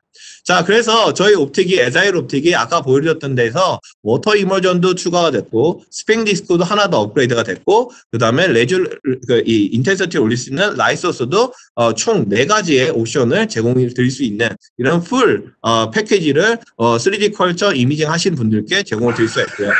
지금 보여드리는 건 뭐냐면 이렇게 저희 장비는 어, 여러분들께서 만약 스루풋을 원하신다 그러면은 아, 이제 넘어갔네요. 예, 여러분들께서 스루퍼스를 원하신다 그러면은 이 로봇과 integration 하는 서비스까지 해드립니다. 그래서 로봇을 이용해서 자동으로 수십, 수백 장의 플레이트, 슬라이드를 찍고 분석을 할 수 있는 이런 시스템을 어, 제공을 드리고 있어요. 그래서 이, 이 또한 저희 AWS 팀을 통해서 제공을 드리고 있습니다. 자, 여기까지 제가 설명드린 거는 저희 몰레큘러 디바이시스의 3D 샘플 이미징에 대한 하드웨어 옵션이었습니다. 하드웨어 이 솔루션이었는데 지금부터 설명드릴 게 가장 중요합니다. 자, 하드웨어를 찍는 부분은 뭐 traditional로 하셔도 되고 상관없습니다. 근데 중요한 건 항상 중요한 게 뭐냐? 분석이 잘 안 돼요. 그 분석에 있어서는 저희가 40년 넘게 개발한 MetaMorph 기반의 MetaXpress 소프트웨어를 이용해서 어떤 것을 제공드릴 수 있냐. 첫 번째로 Z-stack을 갖다 아주 쉽게 하실 수 있습니다. 지금 보시는 것에 이미지를 찍는 윈도우인데요. 지금 보시는 건 96 웰을 선택했고요. 96 웰에서 DAPI, FITC를 딱 선택을 하는 겁니다. 그래서 두 개의 wavelength인데 최대 8개의 wavelength를 선택해서 볼 수가 있는데 지금 이 wavelength는 DAPI로 선택되어 있는데 DAPI에서 나는 Z-stack을 레이저로 찾은 well bottom에서 위아래로 21장을 찍는데 5마이크론 step size로 총 100마이크론의 어, Z-stack을 찍겠다. 자 이렇게 되면 여러분들께서 Z-stack range는 마음 자유자재로 사용할 수가 있으십니다. 그럼 많은 분들께서 궁금하실 거예요. 어 이거 Z-stack limit이 있잖아요. 당연히 limit은 있죠. 하지만 아까 보여드렸던 objective 중에 장초점, long working distance를 이용하게 되면 이 장수는 수백, 수천 장까지 올라가도 상관이 없습니다. 그래서 장초점 렌즈를 이용해서 이 Z-stack을 찍게 되면은 어, 일반적인 6 well, 12, 24, 48, 96 well에 있는 ECM과 같이 있는 organoid spheroid 이미지를 갖다가 아유 아주 쉽게 Z-stack and acquisition projection 이미지를 얻을 수가 있으십니다. 그래서 만약에 난 DAPI는 그냥 single plane으로 찍고 피스만 G스택을 찍겠다. 그래서 웨이브랭스 별로 G스택을 어, activation 할 수도 있고 어, deactivation 할 수도 있습니다. 자, 이렇게 하게 되면 당연히 2D 이미징도 할 수 있고 저희 모든 ImageXpress 장비는 이, 어, 이 G스택이 다 가능합니다. 그래서 Pico부터 Micro Confocal까지 모두 다 가능하고 라이브셀을 이용해서 G스택도 가능하고 어, 그래서 이 모든 4D까지 G스택 앤 타임레스까지 모든 것을 다 제공하기 때문에 여러분들께서 하시고자 하는 stack 이미지, stack에 의한 분석 이미지를 다 할 수가 있으십니다. 자, 지금 보여드릴 동영상은 뭐냐면 아직 조금 delay가 있어서 한번 이따가 보겠습니다. 자, 지금 보여드릴 동영상은 뭐냐면 저희 MetaXpress 소프트웨어 이용해서 96L에 있는 샘플을 지금 밑에 보시는 것 같이 60, 아, 그 60 마이크론, 아, 마이크론인데 잘못됐네, 못하네요. 60 마이크론 pinhole을 이용해서 어, 다섯 장의 G스택을 찍으면서 3, 어, 96L을 갖다가 3컬러로 찍은 겁니다. 자, 이랬을 때 지금 보시면은 이제 아, 3컬러 다피, PC, 텍사스 레드인데요. 이건 U2OS cell인데요. U2OS cell을 다섯 개 G스택을 찍고 한 장으로 projection해서 어, 보여드리는 겁니다. 그 FITC projection. 그럼 오른쪽 밑은 뭐냐? overlay입니다. 자, 그래서 U2OS 셀을 이렇게 어, 찍는 것을 보실 수 있는데 자동으로 아주 빠르게 찍고 G스택도 찍고 한 장을 만들어서 데이터베이스에 저장해서 언제라도 이미지를 갖고 와서 분석을 할 수 있는 이런 컨디션을 제공을 드립니다. 지금 보시는 것 같이 찍는 스피드가 상당히 빠릅니다. 네. 자, 이렇게 해서 U2OS 셀을 텍사스 레드만 제외해서 봤을 때 잠시만요. 조금 delay 있어서 좀 이따 보여드리겠습니다. 네, 이제 넘어갔네요. 자, 이렇게 유튜브 OS 셀을 이미징을 하고 나서 Texas Red만 제외하고 나서 보게 되면은 wide field 모드를 찍었을 땐 왼쪽 이미지만 아 오늘 이미지 좋네 바로 confocal을 찍을래 그 confocal을 소프트웨어 선택하시면 spin disk가 탑재가 되면서 60 마이크론 spin disk로 찍게 되면 오른쪽과 같이 high resolution 3D 아, 이미지들이 나오게 됩니다. 자, 그래서 이렇게 마트리제를 컬처, 어, 컬처한 PC12 셀을 갖다가 wide field일 때 왼쪽이고요. 어, confocal일 때 오른쪽인데, 와이드 필드를 G스택을 찍다가, 어, intensity가 좋네? confocal로 찍을래. 바로 confocal 모드로 넘어가서, 어, confocal 이미지도 동시에 확인할 수가 있으십니다. 자, 투명화 작업을 하지 않고 그냥 cancer에 대한 spheroid를 찍게 되면은 이렇게 나오는데, 이게 사실은 어, 2D layer가 아니라 3D죠. 3D 상태에서 저희 4D 뷰어라는 걸 이용하게 되면은 이렇게 sphere의 반 정도를 찍고 나서 어, 보실 수가 있는데 사실 어, 투명화 작업을 안 하게 되면 안쪽은 꼭 비어 비어 있는 약간 바가지 같은 모양을 합니다. 그래서 투명화 작업을 하게 되면 안쪽은 좀 채워져 있는 그런 이미지를 보실 수가 있겠죠. 그래서 이 투명화 작업에 의한 또는 투명화 작업을 하지 않았을 때 이 모두 어, imaging이 가능하고요. 자 이렇게 imaging을 하고 나면 분석을 해야 되겠죠. 저희는 부선 솔루션은 총 세 가지를 제공하는데요. 지금 여기는 안 보여드렸지만 어플리케이션 음. 모듈, custom 모듈, journal이라는 이 세 가지를 갖다 제공을 드리는데 첫 번째 어플리케이션 모듈을 제공을 드립니다. 23가지 어플리케이션 모듈은 어, 대중적으로 많이 사용되고 있는 사실 2D culture 시스템에서 많이 사용되고 있는 image analysis 소프트웨어입니다. 자, image analysis 소프트웨어의 개념을 좀 보여드리면 자, 지금 보시는 이미지에서 자, 이미지를 찍었습니다. 사실 이제 형광 imaging은 confocal 이미지는 monochrome 이미지로 나오죠. 그래서 intensity를 구분했을 때 intensity가 높으면 하얀색, 그렇지 않으면 까만색에 가깝죠. 그래서 이렇게 cell cycle을 했을 때 nucleus dye를 이용하게 되면 chromosome 수가 많으면 뭐 G2 그렇지 않으면 뭐 G phase, G0 phase 이런 식으로 cycle, cell cycle에 대해서 어디서 arrest가 됐느냐를 intensity를 구분할 수 있는데 사실 눈으로 볼 수 있는데 만약 이 이미지가 수백, 수천 장이 찍혀있는 96의 이미지다. 48의 이미지다. 이걸 갖다가 한 번에 분석을 한다는 거는 여러분들이 생각을 못 해보셨을 거예요. 그런데 저희 MetaXpress application 모듈을 이용하게 되면 cell cycle 모듈을 이용하게 되면 자동으로 분석할 수 있는데 같은 개념으로 뉴런의 이미지를 찍었어요. 뉴런은 soma에서 dendrite 또는 axon이 뻗어 나왔는데 soma에서 뻗어 나온 axon의 길이, 이 dendrite의 길이를 나는 세포별로 알고 싶다. URI 아크로스 어플리케이션을 이용하면 되고요. 만약 puncta 실험을 했어요. 세포당 이 조그만 spot에 대한 개수를 nucleus에 있는 개수, cytosol에 있는 개수, 사이즈별로에 대한 개수 이거 알고 싶어요. granularity 모듈을 쓰면 돼요. 그 다음에 NF 카퍼비 이펙트를 이용해서 nucleus로 translocation 했느냐 nucleus translocation만 nucleus 보면 밝고 그렇지 않았으면 밝지가 않죠. 그랬을 때 어, 어, 이냐 아니냐 on off냐 true or false냐 이런 거 갖다가 볼 수 있는 translocation 모듈 어떤 cell division에서 어떤 그 어떤 이 그 mutation이 일어나서 생기는 micronuclei live dead에서 살아있는 세포 죽어 있는 세포 볼 수 있는 건데 저희 23가지 모클, 어, 어플리케이션 모듈 중에 6가지는 보여줬는데 분석을 하게 되면 다음과 같이 자동으로 cell cycle이 어디서 arrest 되는지 뉴런이 soma에서 얼마나 outgrowth 되는지 하나의 cell당 어, 이 dot의 개수는 큰 dot의 개수 작은 dot의 개수 그 다음에 translocation 일어난 거 일어나지 않은 거 micronuclei 개수, live dead에 대한 이런 아주 간단한 모듈. 그러니까 많이들 쓰고 계신 거죠. 이렇게 23가지가 준비가 되어 있습니다. 근데 사실은 in vitro 상태에서 분석을 할 수 있는 게 23 가지고 세, 세 가지 가지고 다 될 수가 없어요. 그래서 이, 이렇게 분석이 되고 나면은 이 저희는 이제 보통 결과값이 cell by 또는 site by site 결과가 나오는데 분석을 하고 나서 세포를 내가 네 개를 클릭했습니다. 클릭한 부분이 주황색이 돼 있고 주황색이 돼 있는 부분에서 cell당 조그만 particle의 조그만 particle의 개수 몇 개, 큰 particle의 개수 몇 개, 그 조그만 particle의 average intensity는 얼마, integrate intensity는 얼마. 이렇게 엄청나게 많은 데이터가 하나의 이미지에서만 나오는 게 아니라 만약에 플레이트를 찍으셨다, 슬라이드 찍으셨다, 그 엄청나게 많은 이미지를 한 번에 분석을 해서 이렇게 많은 패턴을 갖다가 한 번에 보실 수가 있는 게 high content screen, 저 ImageXpress Micro 어, 어, confocal 시스템의 솔루션입니다. 자, 이렇게 해서 만약 384를 찍었다. 하나의 384에서 패턴도 한 번에 볼 수가 있겠죠. wavelength, 세 번째 wavelength에 대한 뭐 intensity, population, 뭐 100%에 가까울수록 빨간색, 그보다 낮을수록 초록색. 이런 식으로 heatmap으로 볼 수가 있겠죠. 자, 그래서 23가지 어플리케이션 모듈로 여러분들께서 간단히 분석할 수 있는 모듈들이 있어요. 그런데 분석하고자 하는데도 분석을 못할 수밖에 없는 것도 있죠. 왜냐하면 계속해서 이렇게 organoid, spheroid 분석도 나오고, 아, 아, 분석을 해야 되는 것도 나오고, 특이한 분석도 해야 되는 것들이 나와요. 그럴 때 저희는 뭘 제공하냐? custom 모듈이라는 걸 제공합니다. 이 custom 모듈은 2D, 상태에서도 분석할 수 있고 3D 상태에서도 분석할 수 있습니다. 자, 한 예를 보여드리면 2D custom 모듈 분석 예입니다. 그래서 어떤 micro spindle을 가지고 어, 방추사죠. 방추사에 대해서 영역을 갖다 난 분석을 하기 원합니다. 자, bright field를 이미지 찍고 세포의 morphology별 counting을 원하는 자.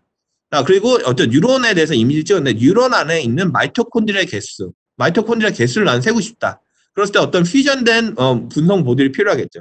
그 다음에 세포를 갖다가 깔아놓고 어, 스크래치 낸 다음에 세포가 얼마나 wound area로 가느냐 cell migration 또는 wound healing assay 이런 모듈 이런 이미지를 하고 나서 분석을 하려고 하면은 모듈이 필요한데 구매를 하셔야 되는 게 타사들이 일반적이에요. 근데 저희 회사는 custom 모듈만 이용하면 여러분들께서 보통 빠르면 5분 뭐 늦어도 뭐 30분 안에 분석 툴을 바로 짤 수가 있어요. 이 짠다는 게 예전에 코딩을 이용했는데 지금은 몇 번 클릭만 하면 모듈을 생성할 수 있습니다. 좀 이따 동영상으로 어떻게 모듈을 생성하는지 보여드리겠습니다. 자, 그래서 이제 그 이 2D custom 모듈을 이용한 어, 3D 어, imaging에서는 실제 케이스를 좀 가보면 U bottom 플레이트, ultra low attachment scaffold free 시스템에서 이제 그 이 cancer HCT 어, 116 어, 암세포를 갖고 이제 spheroid를 formation한 것을 이제 live로 찍었고요. 어, 이 상태에서 96 well 전체를 보기 때문에 포커스도 하나도 안 나는 상태에서 live로 formation 된 것도 볼 수 있고 어, 전체 U bottom에 있는 spheroid 이미지도 볼 수 있죠. 자 이렇게 어떻게 assay가 진행이 됐냐 이렇게 cancer spheroid를 만들고 나서요. 만드는데 하루 정도면 되고요. 그리고 나서 약물을 갖다 3일 정도, 2, 3일 정도 처리하고 나서 imaging을 하기 직전에 아, live nucleus, live cytosol, 그 다음에 라이브 아, 아, dead cell dye 이 세 가지를 갖다 처리를 하고요. homogeneous에서 add만 하시면 됩니다. add를 하고 나서 저희 이미지 엑스프레스 마이크로 컴포칼에서 어, wide field 형광 현미경 모드를 처음에 찍었, 찍었습니다. 이러고 나서 confocal 모드를 바로 넘어가게 되면 resolution이 상당히 상승하는 걸 보실 수 있죠. 이렇게 imaging을 하는데 자, 이 wide field를 했을 때는 G스택을 찍었을 때 어, 그 컴포트과 와이드 필드 모두의 2D 프로젝션 이미지를 하게 되면 wide field는 상당히 부드럽고 confocal 이미지는 상당히 명료하게 나옵니다. 그러면 cell counting 모듈을 이용하게 되면은 어, cell count가 wide field일 땐 445개지만 confocal일 땐 533개로 상승하면서 어, 보다 정밀한 cell counting을 할 수 있는 솔루션을 제공을 드리죠. 자, 요건 뭐냐면 좀 전에 culture했던 시스템은 96 well이랬지만 이건 384 U bottom 플레이트입니다. 384 U bottom 플레이트에 어, 똑같이 암세포를 갖다 스피어 폼을 만들고 약물을 2, 3일 어, 그러니까 뭐 항암제죠. 뭐 항암제가 될 수도 있고 뭐 kinase inhibitor가 될 수도 있고 여러 가지 약물을 갖다 밑에서부터 위로 high dose로 어, 2, 3일 정도 처리를 하고요. imaging하기 직전에 Hoechst, 어, Hoechst, 그 calcein AM, 아, 에티닌 호모다이온과 같은 라이브 어, nucleus cytosol 그다음에 아, 그 그다음에 그 dead cell dye를 처리하고 나서 30분 뒤에 바로 imaging을 한 거죠. 자, 그랬을 때 이제 이 low dose 때는 이제 spheroid가 어, cancer spheroid가 form이 아주 멸, 멀쩡한 것을 볼 수 있어요. 근데 high dose로 가게 되면 어, spheroid가 staurosporine 처리했을 때 완전히 shrinking 된 걸 볼 수 있고 doxorubicin 처리하면 완전히 깨진 걸 볼 수 있습니다. 자, 볼 수는 있어요. 자, 이걸 갖다가 어떻게 어떻게 하면 형광 imaging처럼 confocal traditional 방식을 이용해서 찍을 수는 있으세요. 그런데 어떻게 분석을 해야 될까요? 저희는 이 2D custom 모듈로 밑에 부분과 같이 spheroid의 전체 영역에서 살아있는 세포, 죽어있는 세포, 어, 그 다음에 면적, spheroid의 어, width, 그 다음에 어, perimeter, 어, 이런 3D 볼륨 이런 건 추, 설명드리겠지만 이 2D custom 모듈만 이용하더라도 spheroid에 대한 분석들을 바로 짜서 한 번에 분석을 할 수 있습니다. 좀 전에 찍었던 384 플레이트에 custom 모듈을 짠 이 모듈을 적용을 하게 되면은 어, 3D 상태에서의 live cell에 대한 dose response curve가 아주 다르게 나오는 2D 컬처에 대해서 아주 다르게 나오는 결과를 보실 수가 있으십니다. 자, 그러면 어떻게 이 spheroid 샘플 어, imaging을 하고 나서 어, 이 custom 모듈을 가지고 분석 툴을 짤 수 있는지 한번 예를 좀 보여드리려고 하는데요.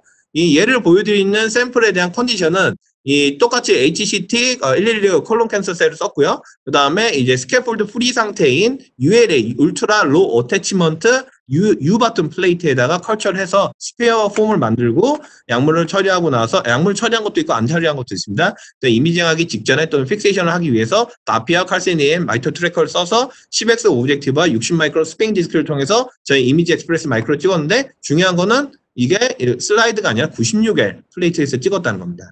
그래서 제가 동영상을 넘어가서 한번 보여드리겠습니다. 자, 여기 지금 보시는 것 같이 저희 MetaXpress 소프트웨어고요. 데이터베이스에 접속을 해서 spheroid를 찍었던 96 well plate를 어, 갖고 옵니다. 이렇게 드래그를 하게 되면은 썸네일 통해서 spheroid의 이미지를 어, well별로 다 보실 수가 있고요. 자, 지금 보시면 bright field, 그 다음에 다피, 칼세니의 이건 dead cell dye를 쓰지 않았고요. mito tracker를 썼습니다. 그래서 레드는 mito tracker고 어, 그린은 calcein, 그 다음에 이제 그 nucleus는 어, DAPI 이런 걸로 보시면 되겠습니다. 자, 이렇게 custom module을 어, 열게 되면은 4개의 source image가 들어오게 됩니다. 그래서 custom module은 위 상단부에 보시면 어, 이미지를 modify 하거나 그 이미지에서 어, binary image가 나오면 binary image를 modify 하는 게 나오는데 이미지의 기, 시작은요. 항상 어, 0, 1로 되어 있는 binary image를 만드는 데 시작이 되는데 binary image가 잘 만들어지려면 원본 이미지가 좋아야 됩니다. 지금 하는 첫 번째 작업은 bright field image, 그 spheroid image에서 어, spheroid 전체 영역을 알기 위해서 spheroid의 이미지, 트레, 어, bright field image를 modify를 하는 작업입니다. 지금 보시는 것은 intensity가 bright field 찍게 되면은 형광 이미지와는 다르게 spheroid image, 우리 눈에 spheroid인데 실제로 intensity는 역으로 background에 비해 상당히 낮게 나옵니다. 그래서 이 부분을 역전을 시키기 위해서 첫 번째 이 spheroid 부분을 blur 어, blurring 하는 smoothing factor인 Gaussian filter를 이용해서 어, blurring을 합니다. 그래서 이 면적에 있어서만 invert를 이용해서 이, 이 에, intensity가 낮은 spheroid 부분이 intensity 높게 만드는 작업을 하려고 합니다. 자, 그래서 지금 이 modify image에서 처음에 Gaussian filter를 이용해서 blurring을 했고요. 그 다음에 여기 보시면 invert라는 거 지금 다시 클릭을 해볼게요. invert를 하게 되면은 다음과 같이 Gaussian filter로 나온 이 blur한 이미지를 invert라는 걸 이용하게 되면은 바로 역전된 이미지가 나옵니다. background는 어, 어둡고 어, spheroid 부분이 예, intensity 높은 즉 형광 이미징 같이 찍은 부분이 나와요. 브라이필드인데 자왜 브라이필드 가지고 이 spheroid 어, 분석 tool을 처음에 하느냐 bright field가 spheroid 전체 영역을 구분하기 상당히 편하거든요. 자 그럼 이렇게 해서 그 다음 뭘 했느냐 좀 전에 보셨는지 모르겠지만 자 보여드리겠습니다. 이 상태에서 어, 어, 이렇게 역전을 시키고 나서요. 왼쪽에 보시면 find round object라는 게 있어요. find round. 자, find round object이 뭐냐? 동그란 애만 잡아와라라는 겁니다. 그랬을 때 아까 똑같이 measure를 해보니까 intensity가 역전이 된 걸 보실 수 있죠? 아까는 이 센터에 spheroid intensity가 밑으로 나왔었는데 제가 invert를 하고 나서 봤더니 spheroid 부분이 올라가면서 이 저희 모듈에서 인지하기 아주 쉽게 된 이미지가 됐습니다. 자 그래서 find round object 이용해서 이 커서를 이용해 클릭을 한번 하면은 이 소프트웨어가 자동으로 minimum maximum에 대한 value를 인지, 인지합니다. 어, spheroid의 minimum value와 maximum. 그래서 지금 하나만 클릭했기 때문에 약간 rough하게 좀 낮추거나 minimum value 낮추고 maximum value는 좀 높여서 200에서 700 마이크론 정도의 사이즈가 되는 spheroid를 잡아라. apply 하게 되면 지금과 같이 서두에 말씀드렸던 binary image 0, 1로 돼 있는 분석을 위한 binary image가 바로 만들어집니다. 자, 그럼 이 binary image가 만들어지면 저희는 spheroid mask라는 것을 만든 겁니다. spheroid mask를 만들게 되면 spheroid 전체 영역, 뭐 perimeter, area 이런 거 갖다 분석할 수 있는 하나의 분석 tool이 만들어졌다고 보시면 될 것 같습니다. 자, 그런데 spheroid의 전체 영역만 분석하면 좀 아쉽죠? 지금 보신 것 같이 세포도 있고 살아있는 세포도 있고 미토콘드리아도 있습니다. 자, 여기서 하고, 하려고 하는 건 뭐냐면, nucleus counting을 위해서 지금은 아, DAPI image를 이용하려고 하는데, DAPI image가 지금 보시면 약간 background가 조금 있습니다. 그래서 nucleus 구분하기가 쉽지가 않아요. 그래서 이런 부분에 있어서 modify image란 tool 안에 top hat이라는 게 있습니다. top hat이라는 걸 이용하게 되면은 intensity가 어, 높은 애들의 에, pixel size 20 이상으로 된 걸로 찾아냅니다. 뭐냐? Find small bright spot based on the filter shape. 즉 20 픽셀 곱하기 20 정도 되는 사이즈 애들만 bright한 spot만 잡아내라. 그러면 지금 보시면 왼쪽에 원본 이미지와 오른쪽에 어, 핫, 아, 그 이 top hat으로 잡아놓은 이미지는 background가 제거되고 nucleus만 보이는 이미지로 어, 탈바꿈 됩니다. 그래서 modify modify image의 top hat이라는 기능을 통해서 nucleus를 잡아낼 수 있는 이런 어, 모듈을 통해서 어, 원본 이미지를 improve를 합니다. 그래서 저는 이걸 improved DAPI 어, image라고 저장을 하려고 합니다. 자, 그래서 improved DAPI image를 하게 되면 원본 이미지가 개선이 됐죠. 자, 이 상태에서 뭘 할 거냐? 저는 카운트를 할 거예요. cell count도 하고, 살아있는 세포도 카운트를 할 건데, 그럼 뭘 할 거냐? 기존에, 좀 전에 보셨는지 모르겠지만, 자, 이게 뭐냐? 기존의 application module을 갖다가 custom module에 또 심어놨어요. application module은 딱 정형화가 되어 있죠. 그 application module을 서로 어, 그 mix도 할 수 있고 이걸 갖다 응용을 할 수가 있습니다. 그래서 요 다음과 같이 이제 Cell Scoring이라는 application 모듈을 갖고 오게 되면 DAPI와 positive marker는 만약에 제가 live cell만 counting하고 있다. 피시가 아까 칼세인이었죠. 그래서 live cell로 돼 있는 어, 세포만 난 counting 하겠다. live cell counting을 원해서 지금 cell scoring 한 겁니다. cell scoring 하게 되면 nucleus, positive marker는 live cell. 그래서 live cell에 대해서 원해서 nucleus를 몇 개를 클릭하게 되면 얘가 minimum, maximum의 어, nucleus diameter가 자동으로 인지가 됩니다. 그래서 저는 조금 더 rough하게 minimum maximum을 갖다 바꿨고요. 6에서 22로. 그 다음에 cytosol은 그거보다 좀 더 크겠죠. 그래서 both로 돼 있는데 이 both side가 어, nucleus 부분과 cyto 부분을 다 포함하고 있는 부분. 자, 그래서 이 nucleus는 한 조금 더 크게, 그 다음에 cytosol, 아, 그러니까 minimum 좀 더 크게, 그 다음, 어, maximum, 아, maximum도 좀더 크게 해서 cytosol 부분이 인지될 수 있게끔 하는데, 이때 중요한 거는 매뉴얼로도 백그라운드에 대한, 백그라운드 대비 intensity에 대한 value를 볼 수가 있습니다. intensity above local background는 백그라운드에서 얼마 이상의 애들을 사이, 이, 이 intensity를 보라는 얘기입니다. 즉 3000이라는 거는 3000 이상인 애들을 어, 이제 그 칼세인으로 염색된 애로 봐라. 라고 하는 겁니다. 지금 보시면 사실 이 binary 이미지 결과가 많이 인지가 안 됐죠. 그런 건 intensity above local background 너무 높게 잡혔다는 거예요. 그래서 이 부분을 제가 좀 낮춰볼게요. 1500으로. 그러면은 더 많은 calcein, 그 live cell 부분이 확인됐죠. 그와 비례해서 live nucleus 부분이 확인됐습니다. 그래서 이렇게 positive nuclei가 많이 잡힌 것을 보실 수가 있고요. 그렇습니다. 이렇게 해서 넘어가고 그러고 나서 요 이렇게 마, 만들어진 상태에서 조금 빨리 넘어갈게요. 그다음에서 mitochondria에 있어서 mitochondria에 대한 어, intensity는 분석을 원한다. 그럼 Texas Red에 대한 어, 세포 이미지를 갖고 와서 분석을 합니다. 똑같이 이제 분석을 하게 되면은 그 결과가 똑같이 mitochondria의 부분, 그 다음에 이제 nucleus 부분이 나눠서 이 하나의 spheroid 안에서 이제 nucleus와 spheroid, 아니, 그 미토콘드리아에 대한 부분이 이렇게 나뉩니다. 그래서 binary 이미지, 즉 0, 1로 되어 있는 binary 이미지가 모두 다 만들어진 것 같아요. 그래서 mitochondria에 대한 부분, 인지할 수 있는 부분, 그 다음 nucleus를 인지할 수 있는 부분이 다 만들어져서 저는 spheroid 이미지를 갖다가 이걸 갖다 어떻게 분석할 건지 진행해 보려고 합니다. 자, 이렇게 해서 nucleus와 그 다음에 어, live nucleus, 그 다음에 mitochondria에 대한 이미지를 다 만들고 나서, binary 이미지를 만들고 나서 어, 이 전, 전체 total cell에 대해서 알려면은 이 live nucleus와 dead nucleus, 그러니까 negative nuclei와 positive nuclei를 합쳐야 되겠죠. 왜냐면은 그래야지 total nuclei가 되니까요. 그래서 이렇게 OR operation을 이용해서 binary 이미지를 합칠 수가 있어요. 그래서 이렇게 지금 비어 있는 부분이 dead cell 부분인데 dead cell 부분까지 합치게 되면 전체 세포에서 살아있는 세포, 죽어있는 세포를 인지를 나눌 수가 있습니다. 그래서 whole nucleus mask를 마지막으로 만들고요. 요, 요 오른쪽에 있는 tab measure로 넘어가게 되면은 measure를 넘어가게 되면 제일 처음에 큰 backbone이 되는 spheroid mask를 load를 합니다. spheroid mask를 만들고 spheroid의 어, 나는 면적을 알고 싶다. 그러면 이 backbone이 area가 있고 뭐 perimeter가 있고 나는 여기 하나의 카운트를 원한다. 그래서 어, feature count. 그래서 spheroid count를 할 수도 있고 지금 보시는 거에서 perimeter나 area를 선택할 수 있습니다. 자, 그래서 백본이 있고 왼쪽은 에버리지고 오른쪽은 썸인데요. 보통 에버리지를 이용해서 하나의 이미지당 average 값을 보는데 하나의 spheroid이기 때문에 average를 이용하시면 되겠죠. 그래서 지금 보시면 area의 backbone이어서 area에 대한 계산값이 나올 거고 지금 이 spheroid의 width가 나올 것이고요. 그 다음에 만약에 만약 perimeter도 궁금하다. perimeter도 선택할 수 있으세요.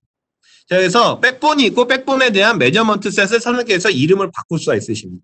이렇게 해서 어, 오케이 하고 run을 돌리게 되면 바로 하나의 spheroid 안에서 어, 이 spheroid area는 얼마고 어, width는 얼마고 perimeter는 얼마냐 그 다음에 number 얼마냐 이렇게 하나의 spheroid의 간단 분석이 됩니다. 근데 아까 만들었던 nucleus에 대한 카운트나 나 live nucleus에 대한 카운트 그 다음에 mitochondria intensity를 볼 수 없었죠. 그래서 whole nucleus counting 모듈 binary 이미지를 갖다 놓고요. 그 다음에 이 홀 뉴클리어스를 이용해서 토탈 어, 셀을 하겠다. 토탈 셀 카운트를 하겠다. 토탈, 토탈 셀 넘버를 카운팅 하겠다라는 모듈 하나 만들게 되면 하나의 spheroid에 nucleus 몇 개가 있느냐 이게 바로 분석이 됩니다. 그래서 어, 지금 어, 이 분석을 하고 나서 보면은 오른쪽에 756개라는 어, 세포수가 이 하나의 spheroid에서 나온 걸 볼 수가 있어요. 자 여기서 하나 더 추가를 해보는 거죠. 그래서 더 추가를 해서 나는 mitochondria에 대한 intensity를 보고 싶다. 하나 더 추가를 하고 그 다음에 이 아까 binary 이미지 중에 mitochondria mask를 만들었었죠. mitochondria 어, 어, mask를 만들고 source image mitochondria 이미지는 Texas Red가 돼야 되겠죠. 그래서 여기 measurement set에서 모든 걸 다 취소해 버리고 average intensity라는 게 있습니다. 그렇게 되면 mitochondria에 대한 average intensity를 여러분들께서 분석해서 한 번에 볼 수가 있어요. 자, 그래서 OK를 하시고요. 그 다음에 apply 하게 되면은 아까 못 보셨던 mitochondria mask가 파란색으로 되어 있습니다. 이 파란색 부분이 바로 어, 이 mitochondria에 대한 intensity인데 지금 오른쪽에 보시는 것 같이 mito average intensity mito average intensity라는 게 분석이 되면서 한 번에 spheroid 안에 mitochondria의 average intensity가 얼마가 나왔는지 분석이 바로 완료가 됩니다. 저는 가장 뭐 이제 뭐 이제 원하는 분석은 다 됐는데 제일 마지막에 뭐가 안 됐냐? live cell count가 안 됐어요. 그래서 live cell count도 하고 싶다. 하나 더 add feature를 합니다.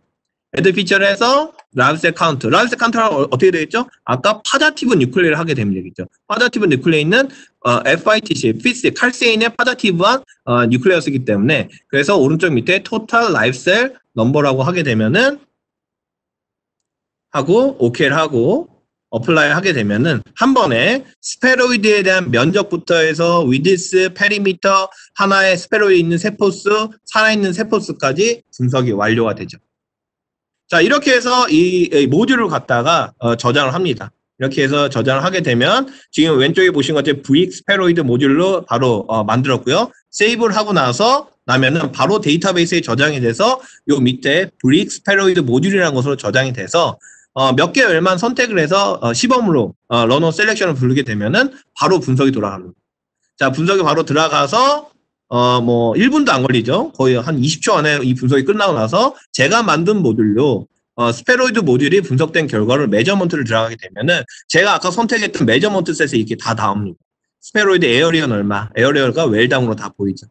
자, 그 다음에 뭐, 이 heat map을 통해서 heat map, 높고 낮은 애를 볼 수 있고, width는 얼마. 그 다음에 그 안에 뭐, 그, 이 cell number는 얼마 이런 것다 보일 수가 있으십니다.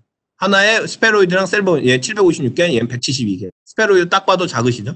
자, 그래서 이제 spheroid를 몇 개 클릭을 해보면 어, 다른 well에서 똑같은 모듈로 분석이 됐을 때 하나의 spheroid에서 cell count가 됐던 거, 그 다음에 기존에 제가 하려고 했었던 또 다른 well에 spheroid 분석됐던 것을 한눈에 보실 수가 있으십니다. 자, 이렇게 분석 모듈을 짜서 96 well 전체에 또는 24, 48 well에 한 번에 분석을 굴리게 되면 여러분, 여러분들만의 분석 모듈이 하나 만들어지는 것입니다.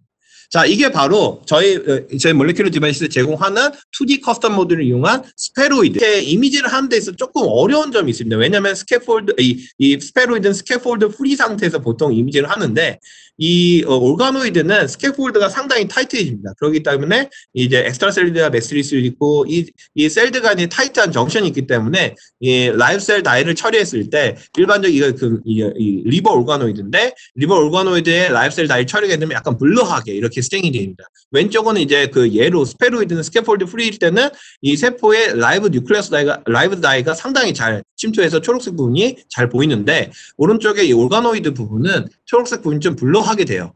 그래서 이 부분에서 live cell에 대한 counting 하는 게 쉽지가 않습니다. dead cell에 대한 counting은 아주 쉬워요. 그런데 live cell에 대한 counting이 어렵죠. 또 다른 이 논문을 보더라도 똑같습니다. 그래서 이렇게 이 칼세인을 쓰게 되면 올가노이드를 쓰게 되면 올가노이드 자체적인 이 컴팩트니스 때문에 imaging을 하는데 좀 어려운 점이 있습니다. 그래서 어떻게 하면은 정량 분석을 할 수 있느냐, organoid, spheroid가 아니라 organoid에 대한 정량 분석을 할 수 있느냐. 그래서 이 부분에 있어서 저희가 솔루션을 찾다가 최근에 어, 지금 이 넥스트앤바이오라는 회사와 어, 저희가 같이 어, 콜라보를 하게 됐습니다. 넥스트앤바이오에서는 저희 회사 장비 ImageXpress Micro Confocal을 이용해서 이제 올가노이드 어, 이미지를 이제 시작을 하실 계획이고요. 어, 신생 기업이긴 한데 지금 보신 것 같이 이 넥스트앤바이오 같은 경우는 어, 3차원 장기 유사체인 organoid를 생산하는 원천 기술을 갖고 계시고요. 그다음에 차세대 조직 배양 어, 플레이트와 그다음에 organoid의 균질성과 생산성을 높은 수준을 향상시킬 수 있는 이런 기술력을 갖고 계셔서 여러분들께서 organoid를 culture하는데 좀 어려운 점이 있고 정량 분석을 하기를 원하신다. 어떤 이제 drug screening을 원하신다 하실 때 저희를 통하거나 아니면 넥스트앤바이오를 이용해서 어, 여러분께서 실험을 진행해 보시면 좋지 않을까 싶어서 어, 설명을 드리는데 왜 저희가 넥스트앤바이오를 설명을 드리냐? 오늘 설명드릴 이 organoid imaging의 샘플을 제공을 해주셔서 오늘 좀 어, 먼저 이 회사 소개를 좀 드렸습니다. 자, 그래서 이, 이 넥스트앤바이오와 어, 같이 저희가 했었던 데이터를 좀 보여드리는데 어, 사실 이 샘플은요, 이 넥스트앤바이오 회사 분들께서 어, 저희 장비를 고려하실 때 데모 중에 아주 간단하게 찍으셨던 겁니다. 예, 여러분 이 넥스트앤바이오 분들도 사실 기대를 안 하시고 그냥 찍으셨는데 결과가 좋아서 이 데모 데이터가 너무 아까워서 제가 요청을 드리고 써도 된다라는 허락을 받고 어, 데모 때 사용됐던 이 샘플 어, 컨디션입니다. 그래서 이 데모 때 결과기 때문에 사실 오늘과 같은 발표를 위한 샘플 컨디션이 아니기 때문에 그럼에도 불구하고 라는 어, 마음으로 봐주셨으면 좋겠습니다. 그래서 human 어, colon cancer organoid를 이제 culture 하셨고요. 어, 이 96L에 웰당 올가노이드 하나씩 들어가 있고 저희 장비 ImageXpress Micro Confocal를 이용해서 60 micron spinning disk를 이용해 찍게 됐었고요. Hoechst를 통해서 어, 라, nucleus dye staining을 했고 live dead를 통해서 live dead에 대한 counting을 유도를 했습니다. 10x 를 이용했고요. 자, 그래서 이걸 갖다가 어, 하려고 하는데 이 동영상이 하나 더 있습니다. 자, 두 번째 동영상인데요. 자, 그렇게 해서 이 똑같이 imaging을 했었던 결과를 봤는데요. 지금 96L에서 어, 찍었던 거를 데이터베이스로 갖고 왔을 때 96L 이 상단부 이 세 가지의 컬러로만 봤습니다. 지금 보시면은 이 well당 organoid 하나씩 다 들어가는 걸 보실 수 있으세요. nucleus dye live 어, 예. 예, 좀 천천히 하겠습니다. 예, 이제 좀 넘어가네요. 자, 그래서 지금 보신 것 같이 이제 라이브 아 그 라이브 뉴클레어스, 라이브 어, 어 칼세입, 그다음에 델셀 다이가 있는데 지금 현재 organoid는요 다 fixation 상태가 아닙니다. 라이브 상태고요. 96 well plate에 있는 거고 어떤 슬라이드에 올려 있는 게 아닙니다. 그런 상태에서 G스택을 통해서 60장 정도의 G, 아, 40장 정도의 G스택을 통해서 올가노이드 이미징을 했고요. 그래서 한 well에 있는 organoid에 있어서 난 nucleus counting을 원한다. 그러면 아까 보여드렸던 top hat을 이용해서 nucleus counting을 위해서 background noise를 제거하는 작업을 했고요. 네, spheroid에서 보여드렸던 모듈 한번 보니까 조금 더 익숙하시죠? 이렇게 해서 background noise를 보다 더 제거를 해서 nucleus 부분을 인지할 수 있는 어, 그 작업을 했습니다. 자, 작업을 하고 나서 count nuclei 모듈을 이용해서 apply를 했습니다. 그래서 오가노이드 안에 nucleus dye로 nucleus로 염색되어 있는 부위를 인지를 할 수 있었고요.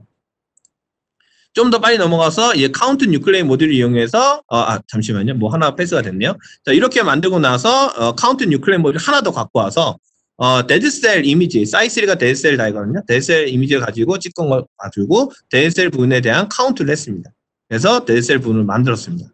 그러고 나서 logical operation, modify objective 아닌 logical operation의 or operation을 이용해서 전체 cell, nucleus dye로도 염색이 안 될 수가 있습니다. organoid에서. 그래서 이 dead cell dye로 염색된 부분과 어, nucleus dye로 염색된 부분을 합쳐서 grow objective를 합니다. grow objective를 하게 되면은 nucleus 부분마다 약간 띄어져 있는 부분을 완전 채워 놓을 수 있는 진짜 세포처럼 보이는 영역을 만들 수가 있습니다.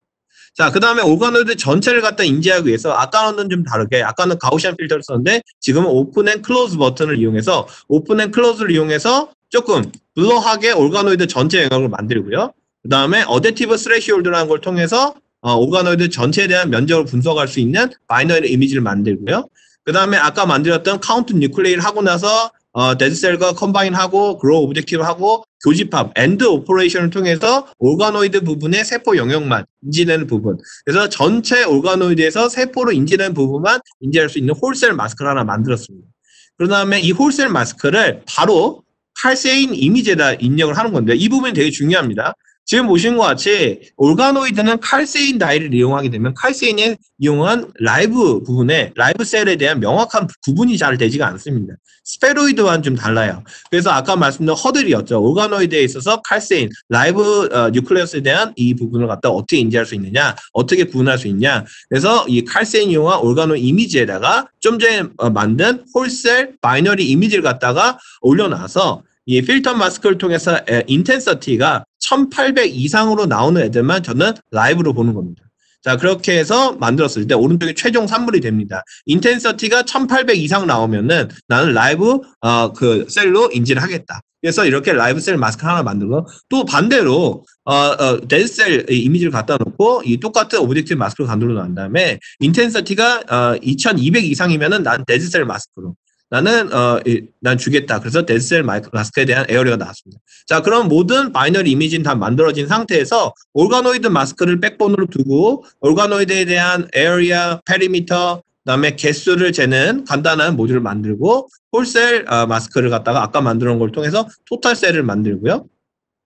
그 다음 live cell mask, dead cell mask를 통해서 각각에 대한 카운트를 할 수 있는 어, 이제 피, 처 카운트니까 binary 이미지가 구획을 나눈 부분에 대해서 카운트를 들어가겠죠. 그래서 live dead count를 통해서 apply를 하게 되면 아까 보셨던 전체 올가노이드 영역에서 살아있는 세포는 전체 어, 노란색으로 다 표시가 됐지만 그 위에 live가 이제 파란색 부분으로 어, 이제 stain이 되고 아그 어, 이 overlay가 되고 핑크색 부분은 dead cell이다. 이렇게 해서 인지가 됩니다. 이렇게 해서 이, 이, 이 넥스텐 바이오기 때문에 MB organoid 모듈이라고 어, save를 하고요. save를 한 부분을 갖다가 바로 데이터베이스로 가져가서 어, 분석을 하게 되면은 분석을 하게 되면은 이 well당 어, organoid에 대한 뭐 perimeter, organoid의 개수 몇 개, 살아있는 세포는 organoid랑 개수 몇 개. 네, 네 동영상이 조금 느렸네요. 예, 그래서 어 그리고 나서 어, 다른 well에 넘어가셔도 다른 well에 봐도 organoid가 면적 대비 살아있는 세포수, 죽은 세포수 모두 다 분석을 할 수 있는 부분을 볼 수가 있으셨습니다. 자, 그래서 다시 한번 넥스트앤바이오 어, 분들께 샘플을 제공하신 부분에서 감사의 말씀을 전해드리고요. 자, 그래서 지금 어, 어, 다 보셨겠지만 허드를 갖다가 저희 예, 몰레큘러 디바이시스의 imaging solution을 통해서 넘어가는 것을 보셨습니다. 그래서 organoid imaging을 이렇게 2D custom 모듈을 이용해서 분석할 수 있었는데 사실 저희가 계속 missing을 하고 있는 게 있습니다. 3D죠. 3D 상태에서 해야 되는 건 뭐죠? 3D 볼륨 분석을 해야 됩니다. 지금까지 보셨던 건 3D를 찍었지만 이거를 2D layer로 projection한 이미지를 가지고 분석을 했던 거죠. 그래서 이걸 갖다가 3D 상태에서 말 그대로 세포 자체에 대한 볼륨, 올가노이드 자체에 대한 볼륨을 갖다 분석을 원한다. 고 했을 때 어, custom 모듈 중에 3D custom 모듈을 제공드릴 수 있습니다. 한 예로 좀 보여드리면 spheroid를 만들어 놓고요. 스페로이드를 갖다 G스택을 찍었습니다. 그랬을 때 오른쪽을 보시면 서로 색깔들이 있습니다. 이 색깔들이 뭐냐? 스페로이드를 G스택을 찍을 때 첫 번째 layer를 찍고 다음 layer를 찍는 새로운 세포가 나올 수도 있지만 그렇지 않죠. 다른 세포, 가, 같은 세포에 또 다른 영역이 나오는 거죠. 그래서 서로 연결돼 있는 같은 색깔로 인지가 됩니다. 좀 이런 이미지를 뭐와 비교하시면 되면 여러분들이 병원 가서 CT 찍던 이미지와 비슷하다 보시면 됩니다. CT 이미지와 비슷하다 보시면 되는데 이걸 갖다가 nucleus 부분만 아니라 cytosol 부분도 이렇게 Z-stack 3D custom 모듈을 통해서 서로 연결된 애들은 같은 색깔로 인지가 돼서 어, 각 individual한 세포에 대한 볼륨, 전체에 대한 볼륨을 볼 수가 있습니다. 자, 그래서 이들을 다 연결을 하게 되면은 자, 이 nucleus만 보시게 된 건데 nucleus 부분이 서로 연결이 됐을 때 어, 어떤 각각 individual한 볼륨이 얼마인지를 갖다 볼륨 분석을 할수 있는 이런 tool이 만들어집니다. 그래서 한 예를 좀 보여드리는 건데요. 간단히 spheroid를 갖다가 암 spheroid를 갖다가 어, U-bottom 플레이트에 culture하고 약물 처리하고 어, 저희가 제공하는 어, 그 EarlyTox kit을 이용해서 라이브레드 SA를 어, 어, ImageXpress Micro Confocal을 통해서 MetaXpress 통한 3D custom 모듈을 분석했던 케이스입니다. 자, 그래서 10x를 예, 찍었고요. 16L에서 찍었고요. 실제 Z-stack을 하는데 이제 그 어, camptothecin이라는 약물을 처리했을 때 농도가 높아짐에 따라서 이제 그 죽는 세포가 많을수록 이제 초록색이 올라가는 그런 dye입니다. 이건 저희 회사에서 판매하는 kit인데요. 살아 있을수록 빨간색이 강하고요. 죽을수록 dead세 dead 어, 어, 그 green이 강합니다. 그래서 어, 그런 식으로 구분하시면 좋을 것 같고요. 그래서 이제 그이 이 약물이 high dose 있을 때는 high dose였을 때는 이제 빨간색이 높아지지만 초록색도 상당히 높아지는 걸 보실 수가 있습니다. 그 다음에 이제 low dose일 때는 초록색이 좀 상대적으로 낮다는 것을 볼 수가 있죠. 자, 그래서 이 부분을 3D custom 모듈을 통해서 분석을 해서 각각의 individual cell에 대한 볼륨도 분석할 수 있지만 individual한 이 spheroid에 대한 볼륨 분석을 통해서 약물을 처리했을 때 약물의 high dose 된 spheroid가 쭈그러든 걸 볼 수 있는데 오른쪽은 low dose 때는 spheroid의 볼륨이 조금 더 살아있는 걸 보실 수 있죠. 자, 그렇게 해서 이렇게 눈으로 봤던 건 저희 3D custom 모듈 분석한 결과 어, total cell에서 살아있는 세포, 그 다음에 spheroid의 영역이 어, 밑에서부터 위로 dose가 올라간 거거든요. 그랬을 때 이제 spheroid의 볼륨이 줄어든 것을, 그 다음에 죽어있는 세포가 많아진 것을 보실 수 있는 간단한 분석 결과였습니다. 자, 그리고 갖다가 이제 hepatotoxicity assay를 한번 해본 건데, 이제 이 간 어, spheroid, organoid까지라고 얘기할 수 있는데, 이 간 spheroid를 만들고 나서 여기다가 약물 처리했을 때 어떤 effect가 일어나는지를 봤던 케이스입니다. dose가 올라가면 spheroid는 망가지겠죠. 그걸 갖다가 3D custom 모듈을 통해서 nucleus에 대한 볼륨, spheroid에 대한 볼륨 이걸 갖다가 분석을 한번 해봤어요. 그렇게 됐을 때 어, 실제로 컨트롤은 이렇게 어, 이런 어, live dye green이 높은데 어 근데 이제 그 이, 어, methyl mercury 같은 극단적인 약물 처리했을 때는 red dye ethidium homodimer가 높아져서 red signal이 올라가죠. 그래서 이걸 갖다가 custom 모듈, 3D custom 모듈을 통해서 어, 볼륨 분석까지 완료를 해서 그 결과가 나왔습니다. 자, 2D custom 모듈을 이용하게 되면 live dead counting만 할 수가 있죠. 자, 왼쪽 밑에 보시면 라이브 데드 카운팅만 할 수가 있는데 3D 커스텀 모듈 동시에 진행하게 되면 live cell에 대한 각각의 individual 볼륨, 그 다음에 spheroid에 대한 individual 볼륨을 갖다가 뭐 보시면서 2D and 3D 분석을 완벽하게 진행을 하실 수가 있으시게 organoid에 앞서서 3D culture를 한 상태에서도 분석할 수 있습니다.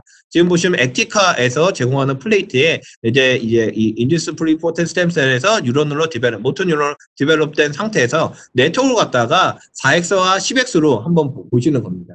그래서 4X와 10X로 G스택을 통해서 이미징을 하고 나서 이걸 갖다가 2D 어, 모듈, 2D 모듈 중에 어플리케이션 모듈 UI 아웃크로스가 있었죠. 어, 아직 어, 동사 어, 그 슬라이드 안 넘어서요. 넘어갔죠. neurite outgrowth라는 application 모듈로 분석을 할 수가 있습니다. 그러면은 2D layer 상태에서 bright field에서 뉴런의 outgrowth 상태, 형광에서 뉴런의 outgrowth 상태 cell당으로 분석할 수 있는데 이건 2D 분석이죠. 여기서 3D custom 모듈을 이용해서 뉴런 각각에 대한 볼륨 분석도 할 수가 있으십니다. 그래서 뉴런 볼륨 분석을 통해서 보다 정밀한 2D 커, 3D custom 모듈을 이용해서 2D 있을 때 dose response 3D, 3D 있을 때 dose response 통해서 IC50가 얼마냐 아, 지금 보시면 동일한 약물인데도 분석 결과가 다른 것을 보실 수가 있으십니다. 그래서 3D 분석을 정밀하게 할 수 있고요. 마지막 저희가 제공드릴 모듈은 어플리케이션 모듈, 2D, 3D custom 모듈, and journal 매크로인데 journal은 페이퍼가 아니라 저희 코딩 language입니다. 이게 진짜 high-end인데 이 코딩은 여러분들께서 하셔도 되지만 보통 제가 다 해드립니다.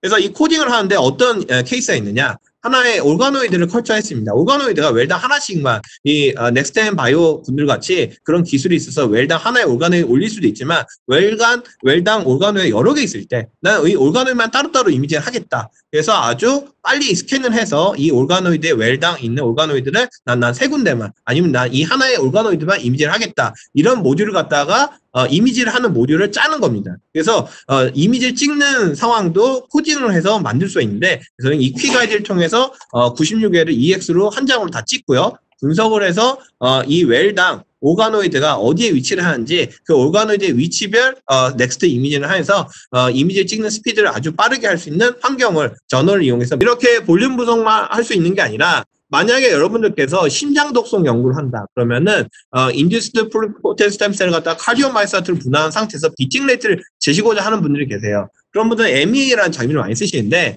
어, 저희 장비를 이용하셔도 이 beating rate를 잴 수가 있습니다. cardiomyocyte를 만든 상태에서 칼슘 dye를 로딩하게 되면 beating을 하고요. 이 beating rate를 저희 MetaXpress에 있는 소프트웨어를 통해서 그 beating rate를 재줍니다. 컨트롤에서 이 beating이 이제 이 정도 되다가 극단적인 약물로 빨라지거나 느려지게 되면 이건 심장 독성이 있겠죠. 그래서 이 심장 독성 어, rate를 잴 수 있는 MetaXpress 안에 peak analysis라는 소프트웨어를 이용해서 얼마나 올라가고 얼마나 뛰었는지를 갖다가 well당으로 분석을 하게 됩니다.